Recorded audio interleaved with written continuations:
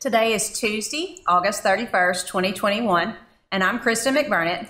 And I'm Lauren Ambrose, and welcome to sixth grade news. Students and parents, please be sure that you are checking Google Classroom for work on remote learning days. The work assigned on remote learning days does count towards your final grade.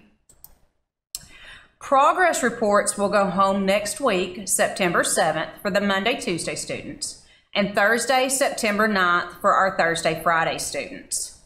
All missing work must be completed and turned in before Friday, September the 4th. Yes, so please be sure that you're checking Google Classroom. Tomorrow, September 1st, each academic teacher will be offering a Zoom for any students that have questions about their remote work. These Zoom sessions are optional.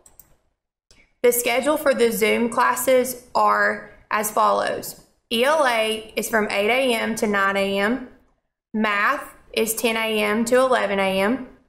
Science 12 p.m. to 1 p.m. and Social Studies 1 p.m. to 2 p.m. And again, these meetings are not required, they are optional.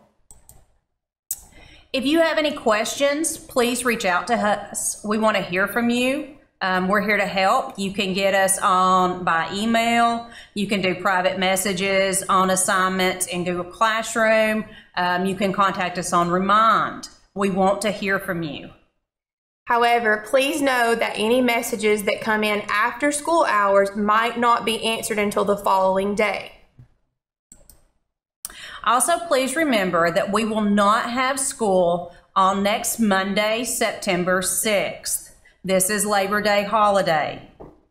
This means that the Monday, Tuesday students will come to school on Tuesday and Wednesday of next week.